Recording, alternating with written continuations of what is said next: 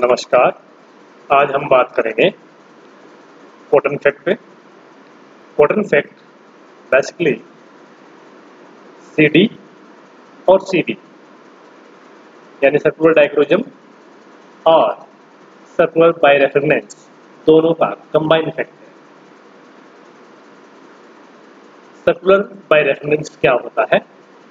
जब linear polarise light beam को किसी ऑप्टिकली एक्टिव मीडियम में से पास कराया जाता है तो। यह है दो circular polarise component different reflective indices show करते हैं। तो ऐसे मीडियम को circularly birefringent medium circularly birefringent कहते हैं और इस फिनोमेना को सर्कुलरी बाई रेफरेंस कहते हैं। और left handed right handed component के द्वारा जो एब्जॉर्प्शन डिफरेंस होता है लेफ़्ट हैंडेड कंपोनेंट और राइट हैंड कंपोनेंट जो लिनियर पोलाइज लाइट को सर्कुलर पोलाइज लाइट बीम का एब्जॉर्प्शन में जो डिफरेंस होता है उसको हम कहते हैं सर्कुलर डाइक्रोजन और दोनों का कंबाइंड इफ़ेक्ट कॉटन इफ़ेक्ट कहलाता है. कॉटन इफ़ेक्ट सबसे पहले एनी कॉटन के द्वारा ऑब्ज़र्व किया गया था.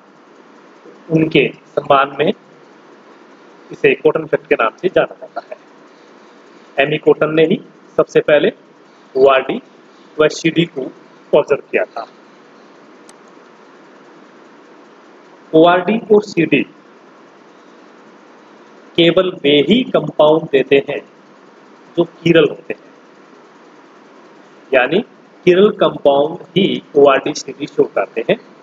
एकिरल या रेसमिक मिक्सचर वाले कंपाउंड ओआरडी सीडी नहीं दर्शाते हैं। ओआरडी यानी optically rotatory optical rotated dispersion इसमें यूज़ लाइट की वेवलेंथ के साथ स्पेसिफिक रोटेशन या मोलर रोटेशन में जो चेंजेज होते हैं, उन्हें ऑब्ज़र्व किया जाता है मेजर किया जाता है। और सीडी में सर्कुलर डाइक्रोजन में लेफ़्ट हैंडेड कंपोनेंट और राइट हैंडेड कंपोनेंट दोनों के द्वारा जो एब्जॉर्प्शन डिफरेंस है, उसे मेजर किया जाता है। सी डी कर्व है, वो यूवी विजुअल कर्व के सिमिलरिटी होता है सिमिलरिटी शो करता है। उनकी जैसा ही होता है। सी डी कर्व पॉजिटिव भी हो सकता है नेगेटिव भी हो सकता है। और इसी प्रकार वोटन इफ़ेक्ट भी पॉजिटिव भी हो सकता है और नेगेटिव भी हो सकता है। CD car. इस डायग्राम में आप देखिए सीडी का रंग लेमडा इन नैनोमीटर और डिफरेंस इन मोलर एब्जॉर्बिटी के बीच ग्राफ को क्या जाता है सीडी कारों में।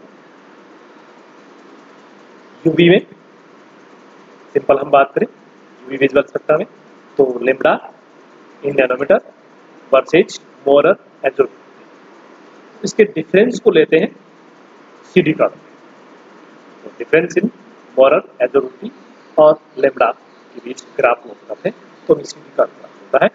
सीडी कर्व जैसे हमने कहा कि ये पॉजिटिव भी हो सकता है। यदि ये ज़ीरो से अपर साइड की ओर, यानी पीक की ओर है तो ये पॉजिटिव कॉटन इफ़ेक्ट और यदि ये प्रो की ओर है तो ये नेगेटिव कॉटन इफ़ेक्ट के नाम से जाना जाता है। ORD curve ORD curve lambda in nanometre versus molecular rotation graph होता है। और इसी प्रकार ये पीक की ओर ओआरडी कर्व है पॉजिटिव और ट्रो की ओर है तो नेगेटिव तो पॉजिटिव कॉटन इफ़ेक्ट और नेगेटिव कॉटन इफ़ेक्ट तो इस प्रकार कॉटन इफ़ेक्ट सी डी और सी डी दोनों का कंबाइंड फिनोमिना